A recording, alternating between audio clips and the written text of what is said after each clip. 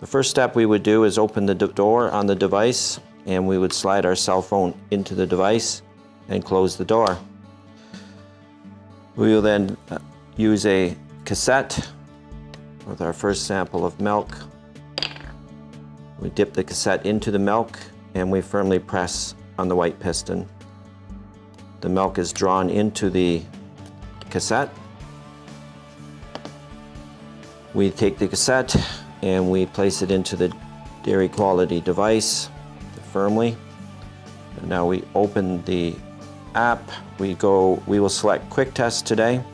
We can choose a cow, and it can be saved for herd management files. So we'll select Quick Test.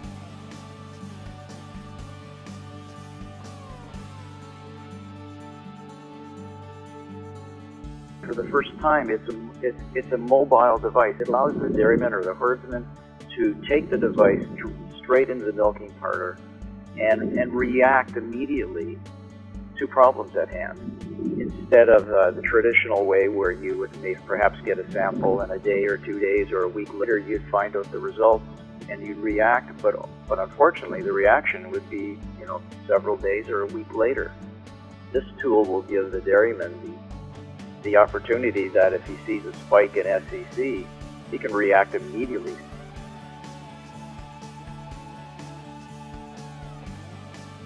Because it is a photographic image, we're able in the app to display the uh, resulting image to the to the dairyman, and and from that image they'll readily see for the first time what the cells look like and uh, their organization, and from the organization you can determine, and the app is able to help you with that, the pathogen that results in a high, a high SCC count.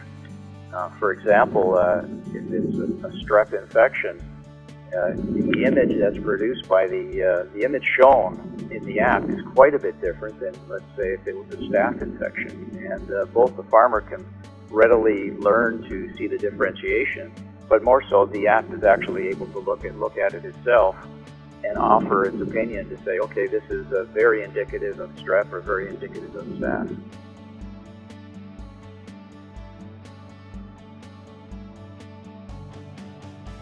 We're having fun with it. It's like, you know, for the first time the guy gets more than the SCC number.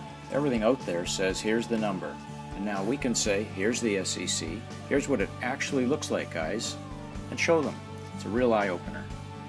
The guys say, oh, that's what SCC is all about. For them, it was just a dumb number that they had to stay under. The dairy producer has to stay under this 400,000 limit and never really got a good feel for what it really meant. So it's really a lot of fun for doing a demonstration. They say, wow, these are SCC, somatic cells.